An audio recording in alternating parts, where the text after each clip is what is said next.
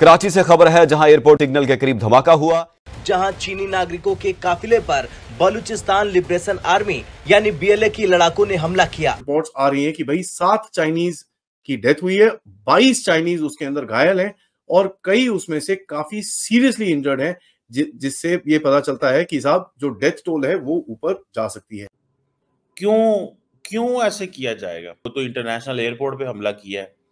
अब जो चाइनीज़ हैं उनको टारगेट करना किसका है? अब इंडिया जो है, या बहुत सारे ममालक जो है, अब अब आप मिसाल दें, चाइनीज़ प्रीमियर पाकिस्तान आ रहे हैं ग्यारह साल बाद, प्राइम मिनिस्टर सुना। ग्यारह साल बाद चाइनीज़ प्राइम मिनिस्टर पाकिस्तान आ रहे हैं। मुझे बात बताएँ, आप उनको क्या मैसेज दे रहे हैं चाइनीज़ प्राइम मिनिस्टर ऐसा धमाका, जिस धमाके को आधे कराची शहर में सुना और धुआँ, उसका जो निकला था, वो बहुत दूर तक देखा गया। इंडिया के जयशंकर साहब भी वहाँ जाएँगे, चाइना के प्राइम मिनिस्टर वहाँ पहुँच रहे हैं। और दूसरे बड़े बड़े कंट्री रशिया के भी पहुँचेंगे वहाँ पे। सारे बड़े बड़े कंट्रीज़ के बड़े लोग वहाँ पहुँचेंगे। उससे पहले इतना बड़ा धमाका, पाकिस्तान के लिए इससे ज़्यादा बेइज्जती की बात नहीं। होम मिनिस्टर को रिजाइन कर देना चाहिए।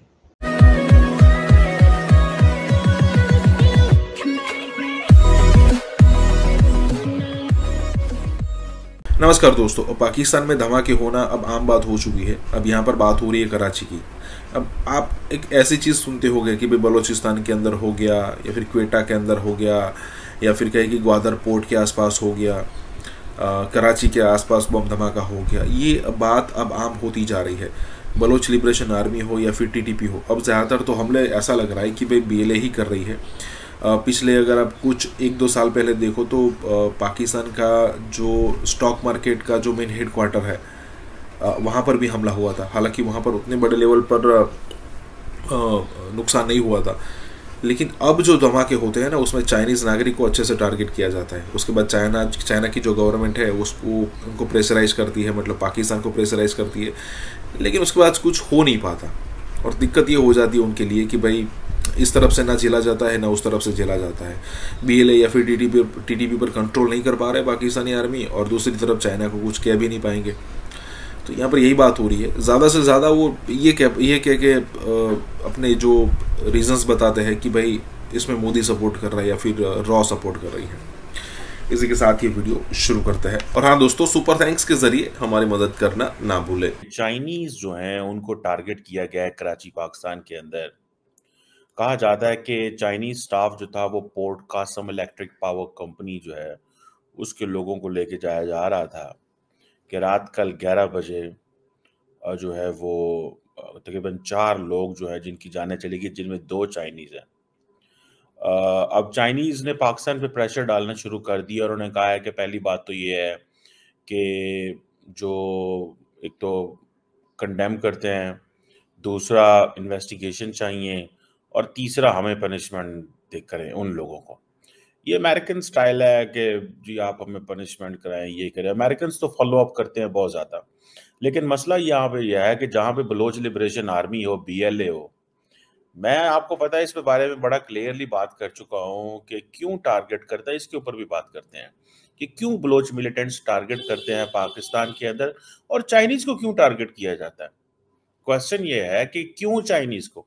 दे वांट पहली बात तो यह है कि they want to internationalise the issue दूसरी बात यह है कि वो समझते हैं कि अगर चाइनीज़ को टारगेट करेंगे तो इन्वेस्टमेंट नहीं आएगी। ऐसा धमाका जिस धमाके को आधे कराची शहर में सुना और धुआँ, उसका जो निकला था, वो बहुत दूर तक देखा गया। क्या मिसमैनेजमेंट थी कराची एयरपोर्ट पे? सबसे बड़े एयरपोर्ट में से एक है पाकिस्तान के। क्या मिसमैनेजमेंट थी? लेकिन इस पर, इसका टारगेट क्या था?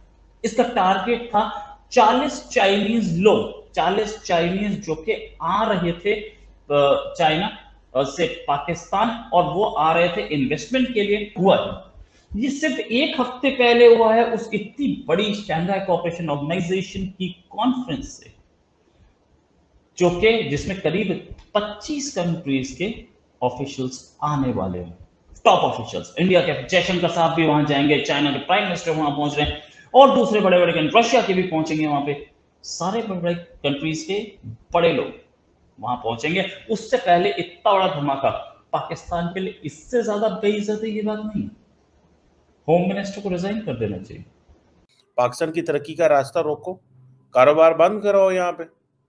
अब चाइनीज़ टारगेट होंगे, अब थोड़े दिनों बाद एस की कॉन्फ्रेंस है पाकिस्तान में। आप क्या समझते हैं? क्यों क्यों ऐसे किया जाएगा?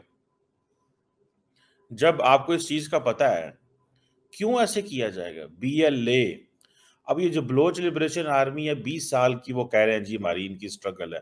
पाकिस्तान की फौज के खिलाफ, हुकूमत के खिलाफ, अवाम के खिलाफ लड़ रहे हैं जी वो। ठीक है जी। जिसे वो कहेंगे ना रोज कोई ना कोई बंदे मारते हैं, पंजाबियों को टारगेट करते हैं चाइनीज़ को टारगेट करते हैं, जिससे पाकिस्तान की मिलिट्री एस्टेब्लिशमेंट को वो समझते हैं कि दबाएँ, उनको कमज़ोर करें। मैं सलाम पेश करता हूँ इमरान खान को जिस शख्स ने इस मुल्क में आग लगाने में कोई कमी नहीं छोड़ी। सारा दिन पाकिस्तान के टीवियों के ऊपर तमाशे चलते रहते हैं और हम देखते रहते हैं कि जी चढ़ाई कर दी, जी मुझे यकीन करके माने। मैं अभी एक इंटरनेशनल फ़्लाइट लेके पाकिस्तान आ रहा था तो जहाज़ में सारे पाकिस्तानी एक ही गाल कर रहे थे। पाकिस्तान के हालात बड़े खराब हो गए वहाँ पर तबाही हो गई है, ये हो गई है। जब सड़कों पे जो नज़र आएगा तो दुनिया ने परेशान तो होना ही है। लोगों ने तो कहना ही कहना है, यार, अब तबाही की वो जिसे कहते हैं ना हालात बुरे हो गए हालात खराब हो गए हालात बड़े गंभीर है। लोगों ने तो कहना ही कहना है। जब लोगों, लोग हमें मैसेज करते हैं दुनिया से कि क्या बन रहा है यार, वहाँ पे सुने ऑप्टेक्स ठीक नहीं है, वहाँ पे क्या हो रहा है? ठीक है। सियासतदान इस मुल्क को आग में झोंक रहे हैं। इनकी तस्कीन ये है कि मुल्क में आग लगे। वहाँ दहशत गर्द आपके ऊपर हमले कर रहा है। ना वो देखता है आप पंजाबी हैं ना वो देखता है आप पठान है ना वो देखता है आप चाइनी है ना वो देखता है आपकी फौज है ना वो देखे आपकी पुलिस है। पैसा लगाने के लिए साथ में वो आ रहे थे उसमें कुछ इंजीनियर्स थे जो कि डेवलपमेंट पे या सीपीईसी e पे काम कर रहे थे। ऐसा बताया जा रहा है। एक एक एक, वो भी आई प्रेस रिलीज़ जीएन बलूच की मैं जीएन बलूच की प्रेस रिलीज़ पढ़ देता हूँ। जीएन बलूच कौन है? ये स्पोक्स पर्सन है। बलूच लिबरेशन आर्मी की और उन्होंने बोला है कि बलूच लिबरेशन आर्मी की Baloch liberation army स्पेदाई unit Majeed brigade targeted high level convoy of Chinese engineers and investors departing इन्होंने डिपार्टिंग गलत लिखा है वो अराइविंग था departing from Jinnah airport in Karachi in अदाइन B BIED attack. Several Chinese nationals and their secured persons were eliminated. Uh, BLA, has claimed responsibility for the attack. Further details will be released to the media soon. Jeeyand Baloch date उन्होंने लगाई कि पूरी force है। वो तो सो रही है ना। इनको पता नहीं है, इनको इनको चिंता भी नहीं है। अच्छा इंटेलिजेंस को क्यों नहीं पता लगा? वो नंबर वन फोर्स को क्यों नहीं पता लगा? वर्ल्ड की नंबर वन इंटेलिजेंस आई है। क्योंकि वो तो इमरान खान के आदमियों को पीटने में लगी थी ना। वो इस चीज़ में लगी है कि जाकिर नायक, वो भी इसी शहर में बम फटा होगा तो उनको पता लगा होगा और वो घबरा गए होंगे, पानी वानी पिया होगा, उन्होंने सोचा होगा, आज रात ही भाग लेते हैं। क्या अभी तक भागे हैं कि नहीं, ये मुझे नहीं पता। वो कराची में कितने दिन रहेंगे मुझे ये भी नहीं पता। एक बात तो समझ में आ गया होगा कि भाई यहाँ से खिसक लो तो ज़्यादा अच्छा है, क्योंकि यहाँ पे कभी भी मैं, मुझे बहत्तर हुरे मिल सकते हैं, वैसे भी सामने फट गया बम तो वैसे हो जाएगा, नहीं तो डर से मर जाऊँगा मैं, ऐसा भी होता है। और दूसरी चीज़, ये हमला जो वो कुछ भी नहीं देखता। वो ये देखता है, आप पाकिस्तान है, आपके ऊपर हमला करेंगे, पाकिस्तान कमज़ोर होगा, बस करते हो उसको एक चीज़ नज़र आती है। बहरल अब ये जो चाइनीज़ पे आपने टारगेट कर दिया है, जी जी, बलोच, जी liberation army B L A B L A यार कैसे काम कर सकती है, जब तक उसके पास पैसा ना हो? यूएस डेजिग्नेटेड टेररिस्ट ऑर्गेनाइजेशन है। यूएस डेजिग्नेटेड टेररिस्ट ग्रुप है। ठीक है सुइसाइड बॉम्बिंग करती है पूरे पाकिस्तान के अंदर। अब मुझे ये बताएँ कि वो समझते हैं जी कि हमारा क्या, हम तो इंफ्रास्ट्रक्चर पे टारगेट करेंगे, हम तो जहाँ जहाँ चाइनीज़ हैं उन पे टारगेट करेंगे, ठीक है, हम तो पंजाबियों पे टारगेट करेंगे, ताकि हमारा रौला मचे ना, मसले को इंटरनेशनलाइज कैसे करना है? वो कहते हैं, वो एक हमारी है पाकिस्तान से, मारूम बलोच साहबा वो भी यही करती है जी, मसले को इंटरनेशनलाइज करना है। वो क्या करती हैं कि वो जो दहशत गर्दाना हमला होते हैं, वो इसको तो कंडेम नहीं करती। इसके ऊपर वो इतना को कह देंगी कि हम वायलेंस के खिलाफ है, ठीक है? वो अवाम में पोलिटिकल एंड सिविलियन सपोर्ट तैयार करती हैं और जो दहशत गर्द ग्रुप है, ये डायरेक्ट टारगेट करते हैं ताकि मुल्क के अंदर मैं ये नहीं कह रहा कि बलूचिस्तान के मसले जेनुअन नहीं है। बड़े जेनुअन बातें वो करती हैं। महारंग बलोच और उनके बहुत सारे साथी बहुत जेनवन बातें करते हैं। अब वो टारगेट कर रहे हैं पाकिस्तान की हुकूमत के ऊपर फौज के ऊपर, डेली बुनियादों पे। उनको समझ आ गई है। उनको भाई साहब समझ आ गई है। चाइनीज़ को टारगेट करो। अब इंटरनेशनल एयरपोर्ट के करीब टारगेट करो। फिर ये टेंशन शुरू होगी जी कि वो तो इंटरनेशनल एयरपोर्ट पे हमला किया है। अब जो चाइनीज़ हैं, उनको टारगेट करना किसका है? जापानीज को। फॉरेन इन्वेस्टर को टारगेट करना है। अब इंडिया जो है, या बहुत सारे ममालिक जो है, अब अब आप मिसाल दें चाइनीज़ प्रीमियर पाकिस्तान आ रहे हैं ग्यारह साल बाद प्राइम मिनिस्टर सुने ग्यारह साल बाद चाइनीज़ प्राइम मिनिस्टर पाकिस्तान आ रहे हैं। मुझे बात बताएँ, आप उनको क्या मैसेज दे रहे हैं चाइनीज़ प्राइम मिनिस्टर को? यही मैसेज दे रहे हैं।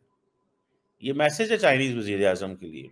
ये मैसेज है बाकियों के लिए। जयशंकर कल को कह सकता है पाइन मेरी जो है ना, वो लॉ एंड ऑर्डर सिचुएशन ठीक नहीं है, हम हम ऑनलाइन ज्वाइन करें। एक बात है।